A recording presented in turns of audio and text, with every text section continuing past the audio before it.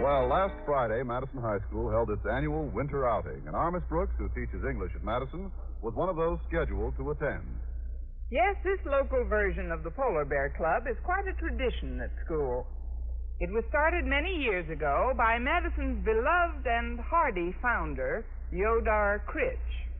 It has since been carried on by our current principal, the beloved and neurotic Osgood Conklin. Since this frosty festival occurred during our official time off, attendance was not compulsory, but as Mr. Conklin so gracefully put it, Be there. everyone was given the opportunity to volunteer for some task or other, and after counting the welts on my back, I volunteered to arrange the lunch basket. Therefore, Friday morning, with the temperature hovering around 40, I found myself in the kitchen of the school cafeteria with my landlady, Mrs. Davis. Now you look pretty this morning, Connie. Those earrings you're wearing are just lovely. What earrings? These are icicles. Aren't you freezing, Mrs. Davis? No, Connie, I'm quite comfortable. Well, no wonder. Move over and let me stand in front of that open stove with you. Even with these rubber gloves on, my hands are cold. It's certainly a dreadful day for a picnic. I'll never forget last year's little outing. Even the red ants had blue lips. I reminded Mr. Boynton about it the other day. I just couldn't warm up at that picnic. Nothing seemed to help. Heavy clothes, hot coffee. There must have been something there that could heat you up. He was, but he didn't. As a matter of fact, he spent most of the day with Miss Enright. Should have seen her showing off, hiking, climbing trees. Miss Enright's very proud of her athletic ability, isn't she? She gives me a pain in the sacroiliac. and the way she fawns over Mr. Boynton. She does have quite a crush on him, doesn't she? You can say that again. She does have. Never mind. now, where were we? Quite a crush on him, doesn't she? But I think your feelings toward Daisy Enright are perfectly justified. She's a conniving, ruthless, brazenly flirtatious cat, Connie. Well, it's Walter Denton. Yeah, I'll salute you ladies in a minute. First, I gotta get rid of these basketball uniforms. May I use one of these empty baskets? Certainly, Walter, but why are you bringing these soiled uniforms into the cafeteria? To get them unsoiled. They're picked up by the same laundry that does the cafeteria's linens. Sounds reasonable. Yeah, it works out fine. Except that once in a while the dish towels come back with knee pads. yeah, we got a lot of important games next week. That's why I gotta get these into the laundry today. Want some coffee before we stow the jugs away, Walter? No, no, thanks, Miss Brooks. Say, how come you and Mrs. Davis got rubber gloves on? Mr. Conklin's orders. He's a bug on sanitary conditions in the kitchen. Sometimes I think that germs frighten him as much as he frightens germs. Don't, don't exaggerate, dear. Now, I'll just go and cover the lunch basket with the sterilized tablecloth, and we're ready. I'll be right back, Connie. I'm going to go down to Mr. Conklin's office and find out when he wants to leave, Mrs. Davis. Very well, dear. Have a nice time. Oh, sure. Are you going to the outing, Walter? Yes, ma'am. Why? Well, since she's Mr. Conklin's daughter, Harriet Conklin has got to go. And it's an old biological truism, Miss Brooks, that where the honey goes, there goeth the bee. I see. Yeah, but why are you going, Miss Brooks? Ah, I get it. You're going to drive out to the picnic grounds with Mr. Boynton. A remarkable deduction, Walter. Gosh, that's a break. All alone with the man of your dreams, clear out the Critch Canyon. Actually, old Marblehead, Mr. Conklin, would love to call it off. How do you know? Well, I just left him talking to Harriet in his office. With the heat shut off in there, he's cold already. He was waving his arms and beating his chest to keep his circulation going. And every time he mentioned Yodar Critch, you should have heard his teeth. His teeth? Honest to Pete, his crockery's clacking like castanets.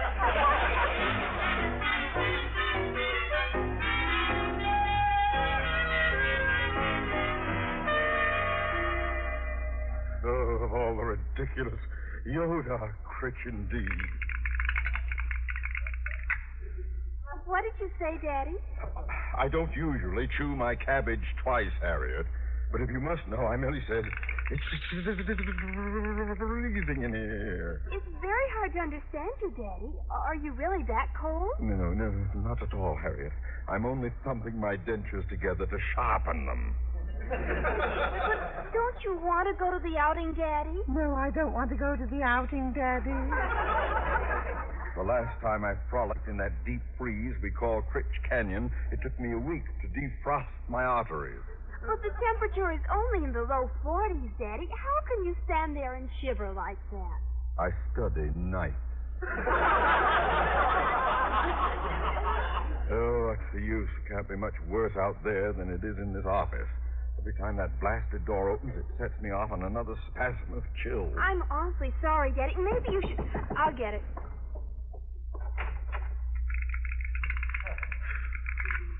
Who's got the dice? It's Daddy, Miss Brooks. He's about to freeze. It's the only logical thing to do. Hello, Mr. Conklin. Hello, Miss Brooks. I was just waiting, Miss Brooks. I've got to meet Walter Denton in the cafeteria. See you at the outing. All right, Harriet. Well, sir, I just wanted to let you know that everything's ready. Well, Miss Brooks, I've been thinking, as you well know, I'm a great boy for tradition. Oh, I know that, Mr. Conklin. You're just about the Oh, hear me out, please. Each year since I've been principal of this institution, I have faithfully, nay, zealously, carried out the yearly pilgrimage initiated by Madison's beloved founder, Yodar Critch. But in view of the present unseemly weather, well, oh, I'd give anything to chicken out. I'm afraid it's too late now, Mr. Conklin. I've heard that several members of the board expect to be there. Oh, well, if we must, we must. Now tell me, Miss Brooks, was the food prepared according to my hygienic standards? Oh, yes, indeed. I made most of the sandwiches with my own feet. I mean, my own gloved hands. In fact, I'd better get back and help Mr. Boynton load them into his car right now. Very well, Miss Brooks, you're dismissed. Aye, aye, sir.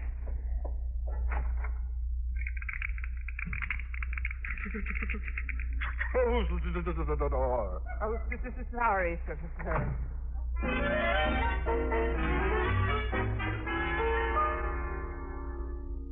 Where's the tablecloth that was on the sandwich basket, Walter? Oh, I used it to cover the basketball uniforms that are going to the laundry, Harriet. It was soiled, so I put a clean one on the picnic basket when I carried it out to the front of the cafeteria.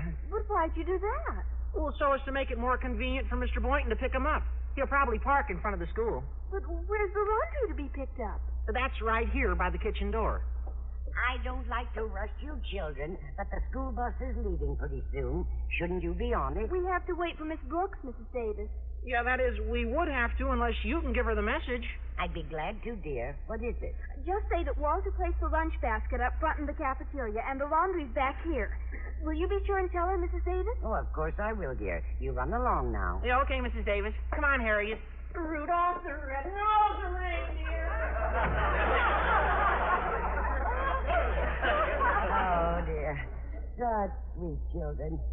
Well, I better wash my hands now.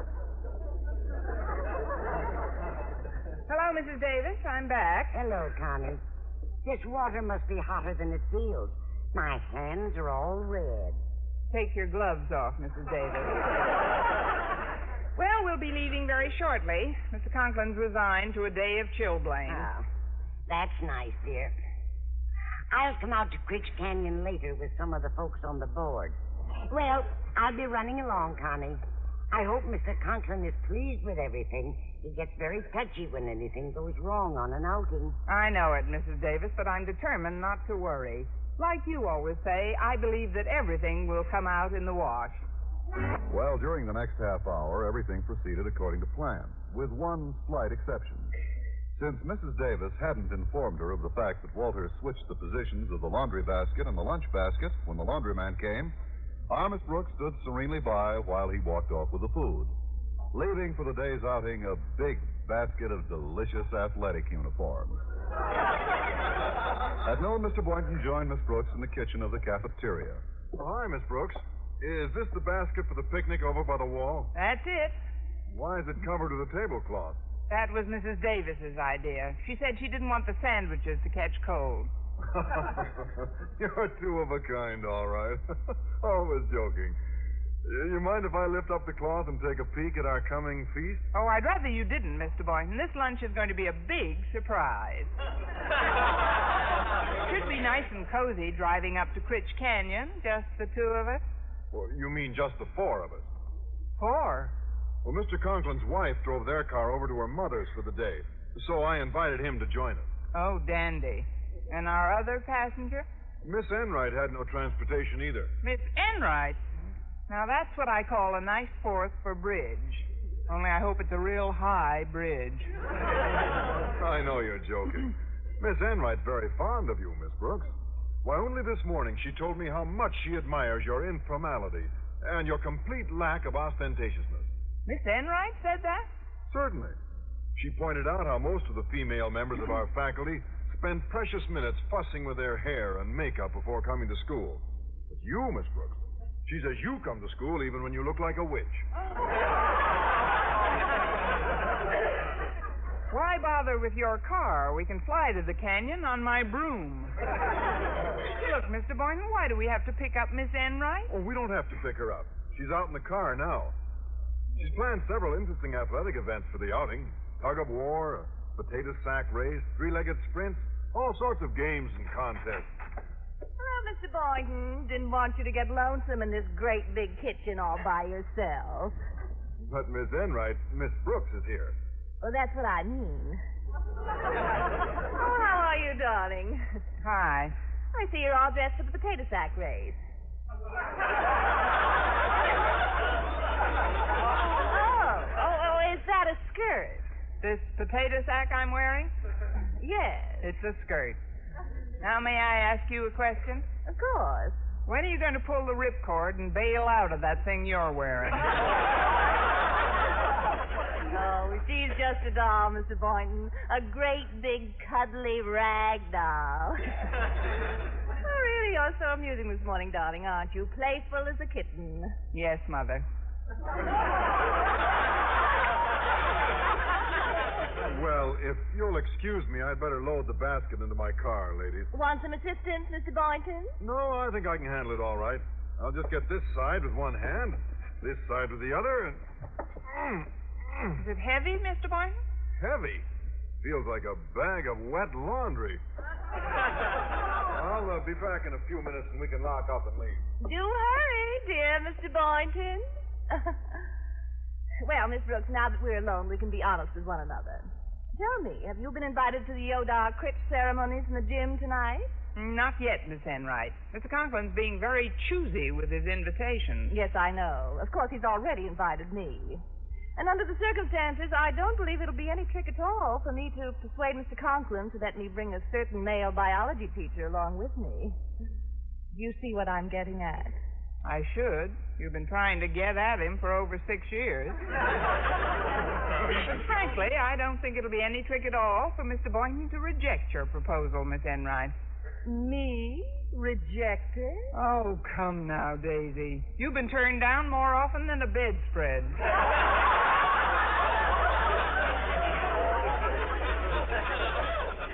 If you recall, Miss Know-It-All, I wasn't turned down at last year's outing. Not after our outdoorsy biologist friend watched me romp off with every athletic event. In fact, he was very attentive to me that evening. yes, I'm afraid he was. I suppose you'll put on a Lulu of a show for him this afternoon. Naturally, during the past year, I've sharpened my athletic talents, as Brooks. Even you must be aware of my tremendous prowess. Not only me, Miss Enright. Everybody knows that you have the most tremendous prowess in the entire school. Exactly how do you mean that, Miss Brooks? If the girdle fits, wear it. Oh, you poor warped darling. I'll be pitying you tonight while I'm dancing with Mr. Boynton. Did the possibility ever occur to you that I might be invited to this affair? Oh, yes, but it's a remote possibility, darling. Frankly, I don't think you stand a chance. Well, maybe that's better for both of us. By not sharing the same dance floor, I might well be saved from a manslaughter rap. Manslaughter, Miss Brooks? You know how the song goes, don't you?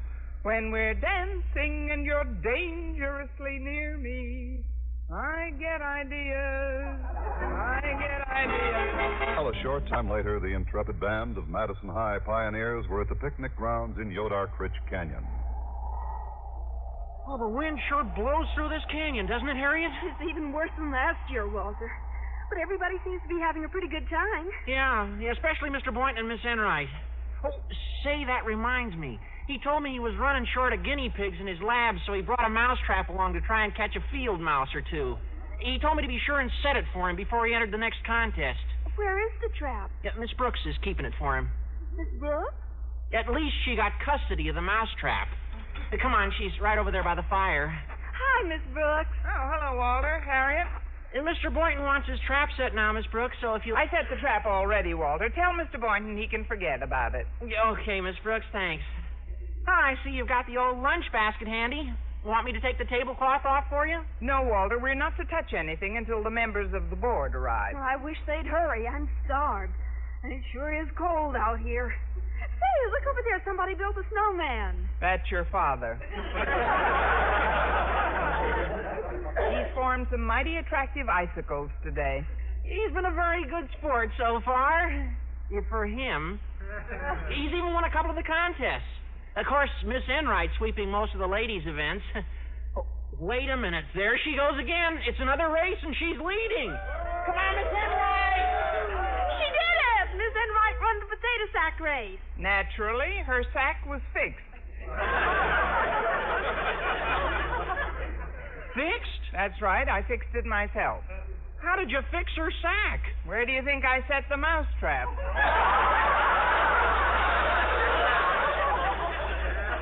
Look, Mr. Boynton's bringing Miss Enright over here, Miss Brooks. Uh, just rest on my shoulder, Miss Enright. Easy now, easy. Oh, thank you, Mr. Boynton. So, Miss Brooks, you deliberately planted that trap in my sack. Why, Miss Enright, how can you even think such an obviously accurate thought? The clamp caused some minor surface injuries when it descended. Uh, however, there are no broken bones. Well, don't blame me. You should have brought a bigger trap. Honey, I'm here. Oh, hello, Mrs. Davis. Did, did you come down with the board members? Yes, dear. They're still piling out of the car, but I thought I'd come on ahead and help you unpack the lunch. Yeah, I'll lend a hand if you want me to. And I'll go tell Daddy we're just about ready to begin eating. Oh, before we do anything else, Connie, there's something I forgot to tell you at school today. What's that, Mrs. Davis? Yes, that Walter switched the lunch basket to the front of the cafeteria and left the laundry by the back door. What? But the stuff at the back door is what Mr. Boynton brought with us. Holy cow, then the only things in this basket are uniforms. What a charming dilemma. And I wanted to wangle an invitation to the dance tonight. Uh-oh. Uh, hello, Mr. Conklin. Well, now that everyone's arrived, let's get set up for the meal of a lifetime. Uh, eh? uh, Mr. Conklin, I... we can talk later, later. I'll just lift off this tablecloth. There we are. Huh? Oh, doesn't that look good, Miss Brooks? Hand me that sleeveless jersey. Nothing like a tasty sleeveless jersey when the chill blasts of old man winter whistle through the canyon and fill the air with. Hand me that sleeveless jersey! Well, Miss Brooks, what happened? There's nothing in here but athletic uniforms. Quiet, everyone. Miss Brooks. Where's our lunch? Mr. Conklin, I have some wonderful news for you. For years, I've respected your campaign to ensure sanitary conditions in the kitchens of our public schools. Never has there been such a crusader for pure, hygienic, germ-free food. Just what are you trying to say, Miss Brooks? Mr. Conklin, when they get back from the laundry, we'll have the cleanest sandwiches in town. Brooks, starring Eve Arden Transcribed, was produced and directed by Larry Berns, written by Joe Quillan and Al Lewis with the music of Wilbur Hatch. Mr. Conklin was played by Gale Gordon. Others in tonight's cast were Jane Morgan, Dick Crenna, Bob Rockwell, Ann Whitfield, and Mary Jane Croft.